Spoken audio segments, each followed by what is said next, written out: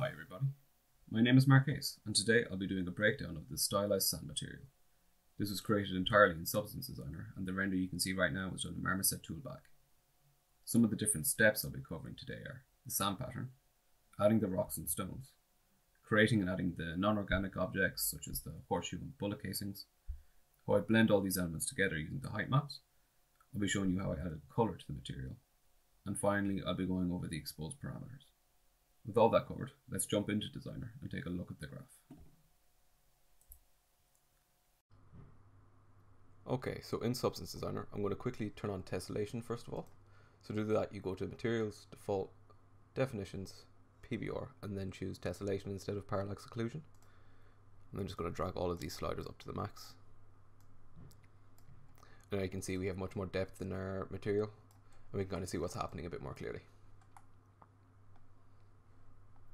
So onto the actual graph itself, you can see I have everything color coded and labeled so that I can come back in later and make adjustments and easily know where everything is. Doing this just makes it a lot simpler to come back later on if you wanted to add extra items, say if I wanted to add some more stones or something like that. This makes it very simple to find out where everything is and if you wanted to hand this over to somebody else, it'll make their life a lot easier trying to find their way through your graph. Create the sand pattern, I used a mix of the splatter node with warp and directional warp nodes. This will give us that wavy pattern. So the way it works is that we take our polygon 2 node and plug it right into the splatter node. So using polygon 2 will give us a nice gradient to the edges. So we see here and we go down to my splatter node. I've increased the pattern size width all the way up. This kind of blends all of the polygons together. We start bringing that down, you'll see it turns back into the individual polygon 2 nodes, but by bringing it up, they all start blending together much better. I've brought the rotation all the way down to here, so we get this nice horizontal line. I didn't want, or sorry, a diagonal line. I didn't want horizontal lines going through the material. I thought this just looked a bit more interesting. To give it a bit of variation as well, I put the size variation all the way up so we can see what this looks like. If there's nothing, it becomes very uniform. We don't we don't want that in sand. As well as I've also brought up the luminance variation. Doing this just gives us a bit more depth to the material. So we can see here if we bring it all the way down, it becomes a lot flatter. Whereas if we just give that a bit of variation, suddenly we get a much more interesting, a much more, a much deeper sand to look at. So to get those wavy lines, currently we still have all these being perfectly straight. We're going to plug oh, these into a warp node and then use the Gaussian 1 node as our gradient input. Doing this you can see its effect right here. So you can see where these little spots are, that's where these white dots are going from. Doing this just breaks it up and gives us a start on these wavy non-uniform lines. Next up, by using the directional warp node, we again we just enhance what we've done previously and make it even less uniform and less predictable.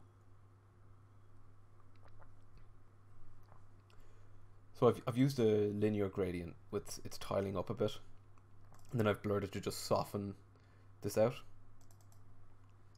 So you can see what kind of effect it has if I start bringing this down just starts to skew it. And is what I think is a much more natural looking sound. One of the issues that you run into at this point is that this is all still very, very sharp. So by blurring all of it, it softens all of these dunes down a bit, brings it all together, makes it more cohesive.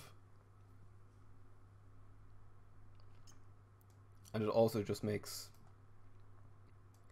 it not like just makes it not nearly as sharp.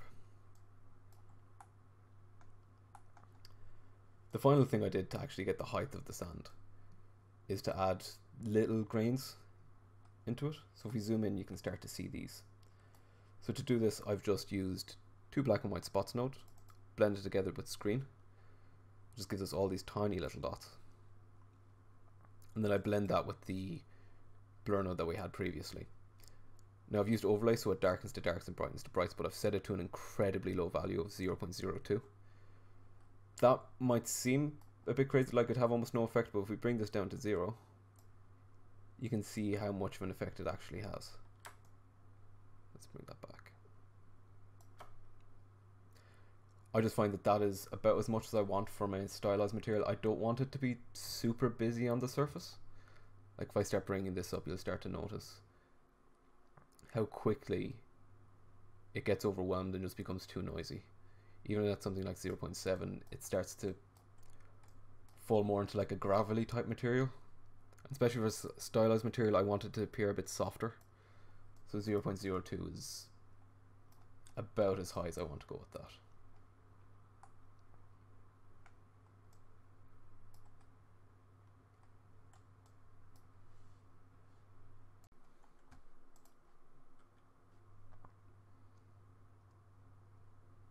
So onto the stones.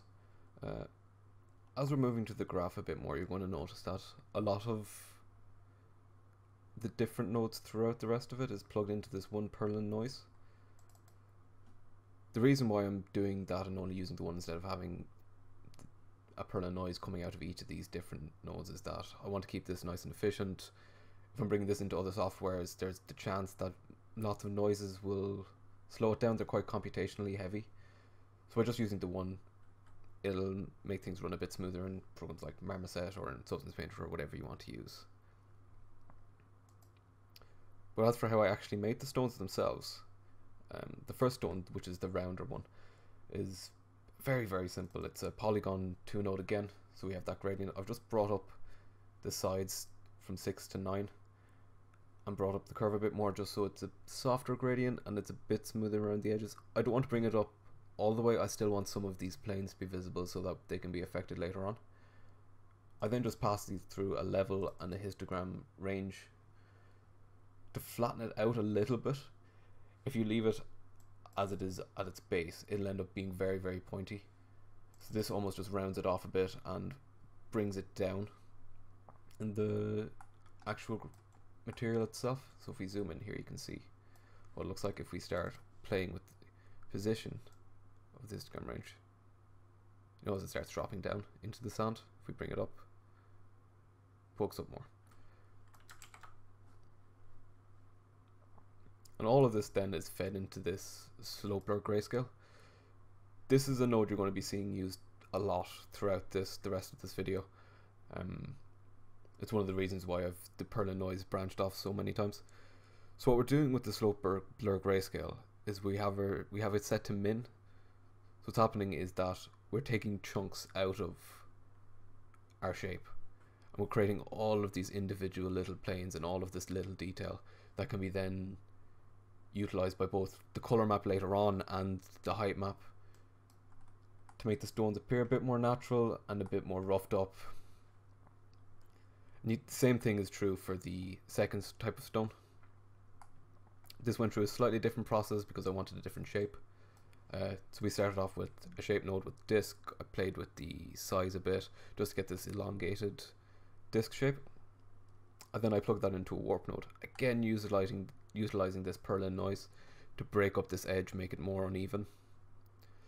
The next thing I do is I bring this into a bevel node. Now the reason for this is that when you're using tessellation and a height map, what can end up happening is that if you have this hard edge here, you get distortion between the different levels of the grayscale. So if this was just white all the way around, I can actually show you. So if I just plug that in here,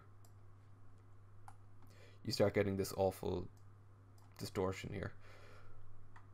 By beveling it before we do that, it softens the gradient and creates a smoother transition from whatever's below it to this stone.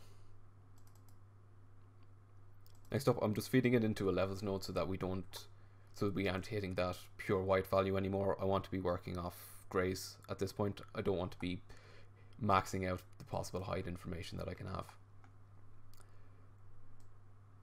The next part here is where I use my this linear gradient. This is to create the angle effect. So by overlaying a linear gradient top using multiply, it creates this slope so it looks like the sand is the uh, stone is poking into the sand or coming out from it, and just gives it a bit more a bit more detail compared to the round one, and it gives a bit of variation to the material throughout. So you can see there's points where it's only barely poking out, or there's ones where it's almost completely out. Next we have another slope blur grayscale. So this is using the same Perlin noise. I've just used a transform 2D node to rotate the Perlin noise a little bit. This is because when we used our warp node earlier with the same Perlin noise, you ended up just, it almost just enhanced what the warp was doing and by rotating it we get a bit more random effect. So again we're creating all of these new planes to give a bit of interest throughout the stone itself. Finally, plugging that into a levels node just to bring it up a little more. So I was a bit heavy handed with the previous grades, but that allowed us to get all of this detail in the slope blur. Bringing into levels and bringing all those grade values up just a bit. It also brings out some of these really deep things that the slope blur did. So if we look in here and in here, you can see that it's gone very, very dark and I'm worried I was worried about these distorting if I was using tessellation. So by putting into a levels node, it just softens this out again. When it comes to actually scattering them around the sand, what I've used is I've used the tile sampler. So you can see here the X and Y amount are set to be exposed and I'll cover that at the end of the video. Uh, but for the pattern, I've set the pattern input to 2 so that I can include both of the different types of stones. And then I've just randomized a couple of the different options here. You can see here I've got the scale random set up. I've got some random rotation as well. So by setting all these values, it just starts breaking this up a bit and making it look like they're not placed in any sort of ordered fashion. The most important part about this though is using the mask random. Uh, this is again exposed, but this is what creates this random distribution of them. I'll cover again that later on when I'm exposing the parameters, but just keeping in mind at this point that that's going to be something very important. Next up we have the non-organics. So that's going to be the bullets and the horseshoes. For this, it really just boils down to trying to build up the form slowly using smaller shapes. So in the horseshoe, you can see my progress here as I go from circles into semicircles, and then eventually all the way down to the finished horseshoe. There's a couple of things that make your life a lot easier as you're doing this. So the first I'd say is to turn off tiling and a lot of these transformation nodes. So you can see here that if I go to the tiling mode, normally this is set to relative to parent. And you can see that is not what I'm going to be looking for at all. By just clicking here, setting it to absolute, and turning this to no tiling, suddenly it's much easier to manipulate this shape. And if I click into our blend node, I can then move this around to wherever I want and start taking out of the shape here. And I do that using a blend node using subtract. So if I'm looking to take anything away, I just use subtract. In this case here, I'm trying to add on, I'll use linear dodge or add. Um, the other really important thing when you're using these transformation nodes and trying to build up using smaller shapes is that you can see here I've got two transformation nodes inputted into a blend. So in this case, I this was going to be mirrored, so I wanted these to be in the exact same position on either side but I only wanted to control one of them because I just I find it much easier if I'm controlling a smaller shape. So by taking one of these transformation nodes, plugging it into a second one, and then setting horizontal mirror, so by just clicking this, you can see it flips over and back. Suddenly, if I look at our blend node down here, I click on our transformation node and I start dragging this around, it's perfectly mirrored that makes making adjustments doing some fine tuning and some last minute tweaks very very easy. So you can see it just it's a lot cleaner way of doing it and it makes your own life a bit easier makes stuff simpler. After this it goes through the same process of beveling and then using a levels node as we did previously with the stones uh, just to bring down those white levels give it a softer edge from here I wanted to add some little holes to break up the very plain shape here uh, to do that I just used a splatter circular node so this creates a ring of of an a of a pattern I've used Bell as our pattern input. So this gives us a bit of a gradient, so it's not a very stark contrast between the two being cut into here. So we've got a little bit of a gradient to make it a bit softer. I've then given it a little bit of random scale. So you can see here scale randoms up a bit. That just, again, gives a bit of variation throughout the material. I've then fed it into a transformation 2D node. This is using the same values as I did back here, just so I'm sure it fits perfectly into these.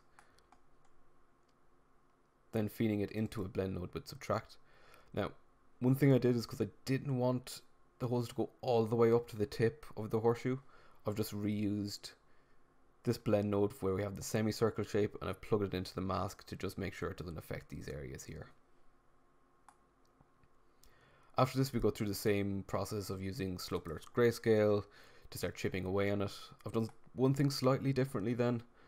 I've used a blend node with multiply again, same Perlin noise that we've been using this whole time. Using multiply instead of just increasing the value of the slope blur means that we are darkening down these chips a bit, but it's not warping the shape of our horseshoe. I wanted to keep this general shape, I just wanted to give a bit of surface noise to it and create a, some deeper dents into what's already there. When it comes to actually tiling this across the material and placing it in different places in the sand, I've used tile generator in this case.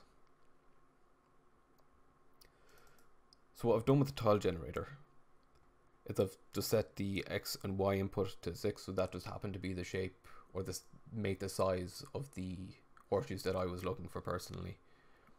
I've set the pattern input distribution to random, so it'll just if I wanted to add more things to this tile generator, it would randomly distribute them around. I've set up the rotation random to full. I've also set the luminance random up a bit. This just means that you can see here this is significantly brighter than over here. It'll put them at different levels on the height map. You can see this one's a bit higher than the one over here.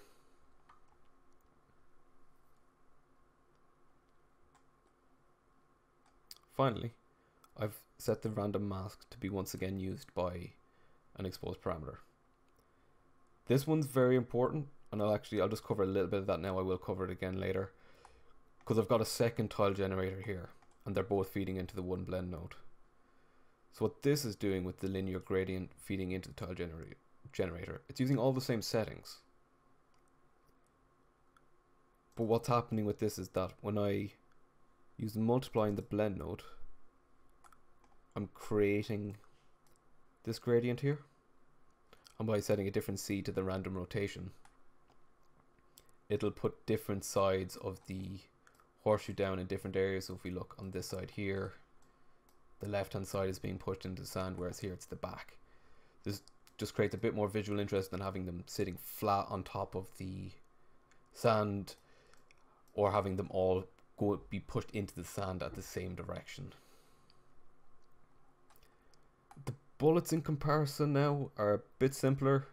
They're just using a rectangular shape uh, with a linear gradient using darken overlaid on top.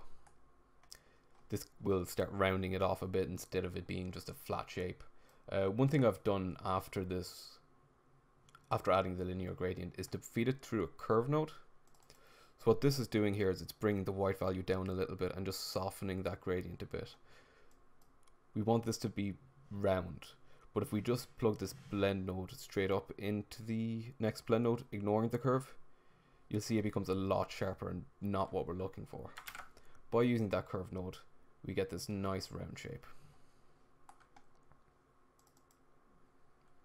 creating this little bevel just past where the firing pin would be.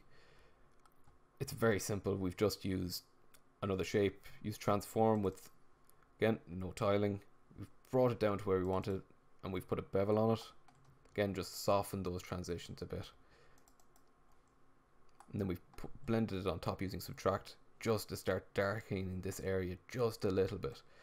You'd be surprised how much effect, especially at this scale it has. Like you can see here, it's gone down quite a bit even though it doesn't look like it up here. After this we fed it into two different slope blur grayscales. Uh, the reason for this is here is what I wanted it to affect the height of the material. But later on when I was doing the color mapping, I found that I wanted a bit more detail, but when I tried increasing the slope blur's intensity, I found it was too harsh for the um, for the height map. So I just I ended up going with two so that I can utilize that in the gradient map and I can use this when actually affecting the height.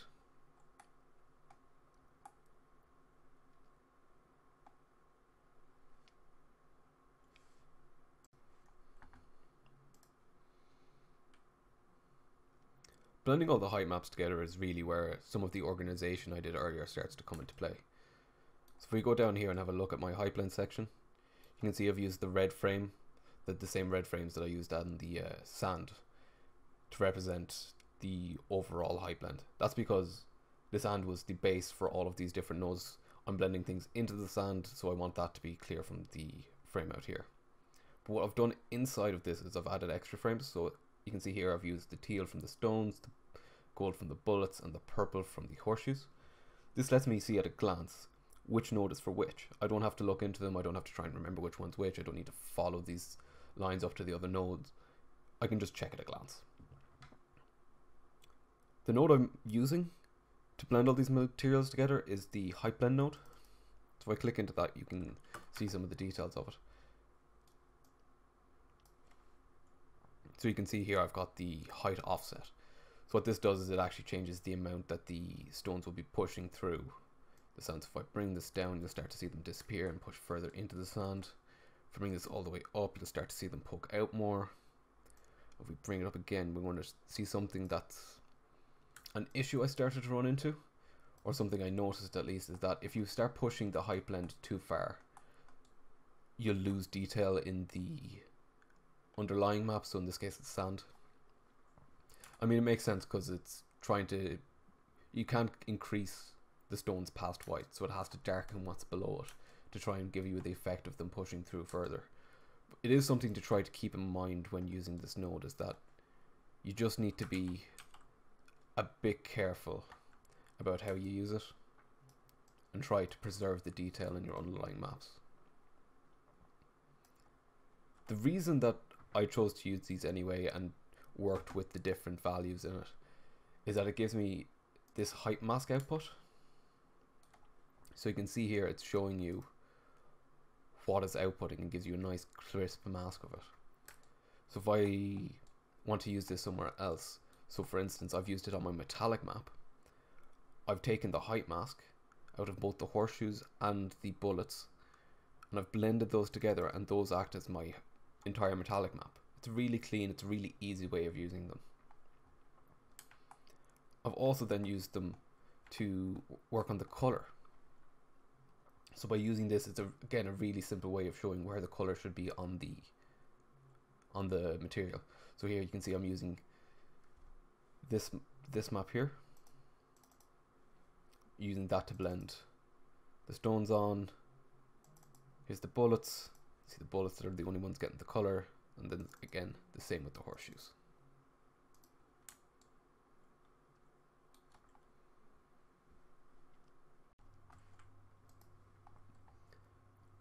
When it came to adding color, I really tried to let the height maps do most of the work. But for the actual gradient maps themselves, which I've used to add color to the different elements, I tried to keep all of the gradients very, very soft. Um, so if we take a look here for uh, the stones, for example, I'm using the output from the tile sampler, plugging that straight into a gradient map. And here, I've actually just left it stock. I wanted my stones to be grey. But if we zoom in here, we can see we still have a lot of nice detail in the color itself. So we've got these nice edges up here, followed by a shadow, same thing all the way down. I found when working with stylized materials or even when working in non-stylized things, if you exaggerate the highlights a bit, it will come out stylized. So that's something I've tried to emulate here. So even if we look at the gradient map itself, we can see all of these little ridges creating different planes and creating highlights throughout. For the bullets, we mentioned earlier that I had two slope blurs here. So for the height itself, I didn't want that big of uh, details in the bullet casings. I wanted them to just be a little dents. But for the gradient map and the color, I wanted it to be a bit more exaggerated. So that's what the second slope blur up here is for. I've gotten all these really harsh edges. I've created this much more visual interest so that when I go to add the gradient map, you can see here I've still gone with the pretty soft gradient. It just gradually changes color over time.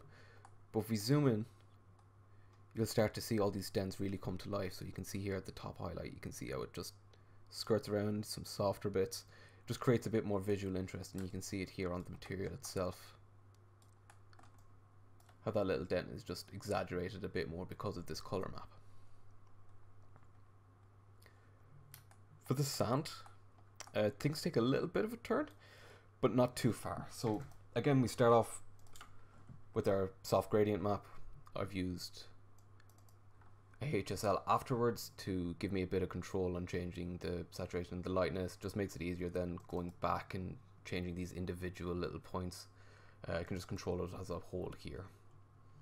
But what you see up on top here, this is used with our exposed parameters. What this is, is it lets me in Substance Painter or Marmoset or wherever I want to export this material to, it allows me to adjust the highlight that goes on top. So if we follow this node back, we can see it comes out before we added the little individual grains of sand.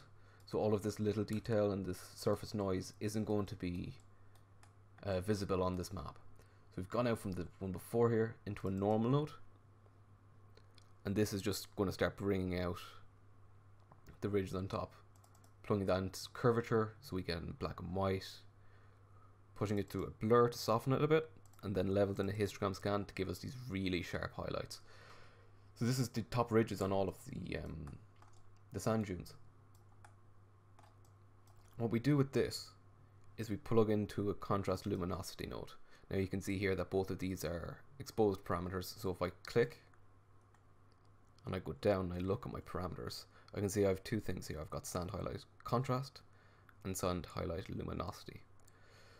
So what this gives me is it gives me the ability to exaggerate this highlight on top. Right now, it seems okay even with, without this highlight on at all. But if we just start pushing this value up a bit, you'll start to see it just starts picking these highlights out. So I wanted that level of control in other software, which is why it's exposed. But I just found this is a nice it's a nice and it actually doesn't take that long to set up. It's a nice way of getting these highlights in and giving you a bit more control in other programs. When it comes to blending all of these different color maps together, I've just used blend nodes and then I've utilized, as I said earlier, the height mask output from the height blend nodes. That just makes it very, very simple to blend all these together. I put the sand in the background, I put the mask in the opacity mask, in the opacity uh, input, and then I take the color from each of them. So the stones goes to the stones input. Again, you can see my frames here showing you which blend node is for which. So teal, that's the stones. If we follow it up, then you can see it as well. So that's going in there with the mask from the height blend for the stones. Same thing with the bullets. So you can see the bullets here, taken from the color map up here. And the same with the horseshoes, taken from the color map here. And all of that is just then plugged straight into our input.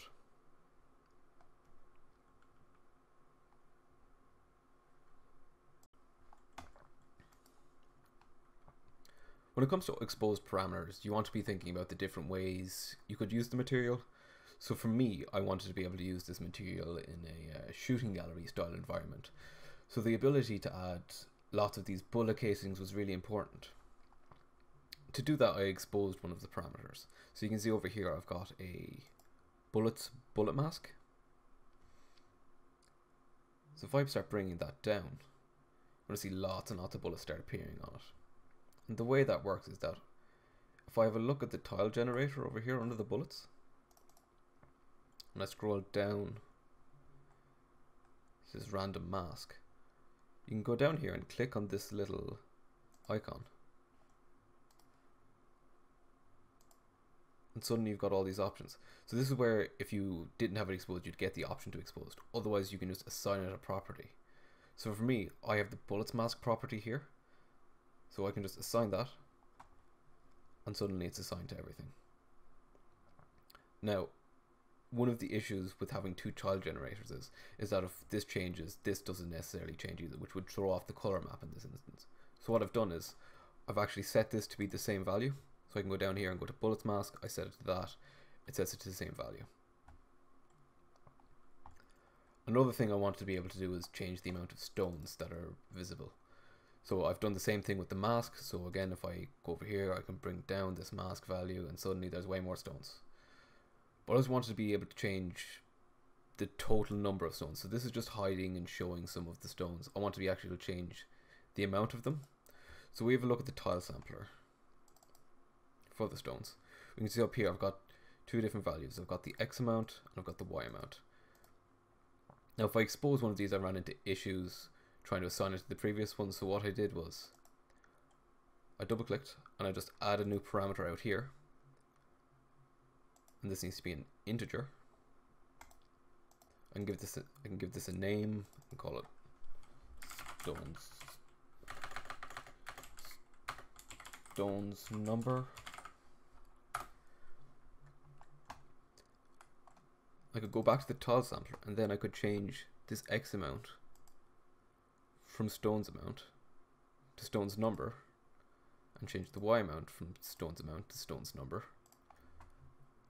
And suddenly I've got control of the stones now using this new parameter. So if I change this, I bring this up all the way, you start to see them, change the amount of them. Now I've already got one of these set up called stones amount, which does this for me. So you can set the default, the min and the max values here you can just play around with these numbers to find what's right for you. Set this back. Stones, stones amount, stones, stones amount. Uh, finally, I wanted to be able to adjust the actual look of the sand itself. So I want to be able to change the sand pattern dynamically in whatever I was, whatever program I was using. So to do that, I go all the way back to the splatter node, right back to the very beginning. And I looked at this value, the grid number. So that's the number of these polygon 2 nodes that are displayed across here. So by tying that to an exposed parameter, if I go to sand type and I start changing this, you notice the entire sand pattern completely changes and suddenly we have something new. Now when combining this parameter here with the highlight that we looked at earlier in our color section, this becomes much more powerful. So if we start cranking that highlight up, we're going to start getting those edges and then we have a completely different looking material. Let's change that back to 3.